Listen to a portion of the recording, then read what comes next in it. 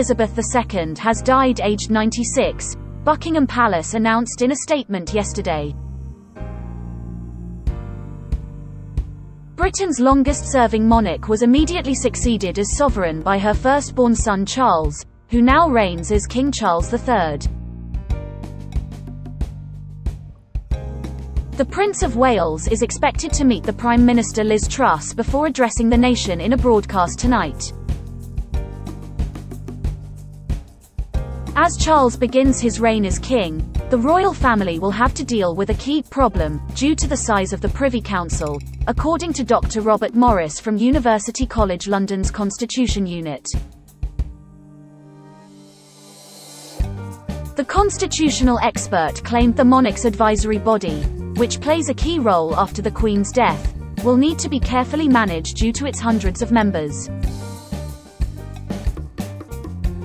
Speaking to Express.co.uk, he said, within 24 hours, there's a special meeting of members of the Privy Council who are augmented by various other worthies. Including, for example, representatives of the city as is traditional, the Lord Mayor will be there and all members of the Privy Council. At the moment there are just over 700 of them, which is a much larger number than were present in 1952 when King George VI died, and his daughter was of course then in Kenya. So, there will be a sort of management problem of how to deal with all the numbers which would also include probably the High Commissioners from the realms, that is the Commonwealth countries where the Queen is also head of state, as well as head of the Commonwealth. Following Her Majesty's passing, the Accession Council, held within 24 hours of her death, will proclaim Charles as king. Privy councillors make up the body, along with great officers of state and other important figures.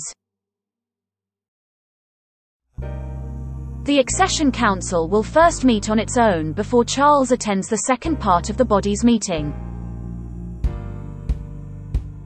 Dr. Morris said, What this Accession Council does is it doesn't make Charles king, it proclaims that he is already king. There's a great fanfare of announcements and there are events in all the provincial capitals to have the proclamation proclaimed and so on. And then there's a second event involving Privy Council members only where the new king attends. Charles will make a speech when he attends the council and is expected to discuss his heavy burden as king. Dr. Morris continued, he does two principal things. He makes a personal declaration, which is very much a personal affair. It has three main elements really. 1. The great regret of course of the passing of his mother and mention no doubt of her values and her successes. Secondly, he's saying that he will, of course, observe the Constitution and do his best to preserve it. And thirdly, he will make some remarks probably on the lines that it's a heavy burden, which indeed it is. Dr. Morris also revealed the King's immediate travel plans, which are expected in the coming days. He said, he will look forward to the support of everyone in his wish to discharge his duties faithfully. On this occasion, we think that the prince, now the king, will then make a broadcast on the evening of his mother's death. And the plan apparently is that he will then travel to the provincial capitals for memorial services which will be held there in Edinburgh, Cardiff and Belfast. Meanwhile, arrangements are made of course for the lying in state of the Queen which will take place in Westminster Hall.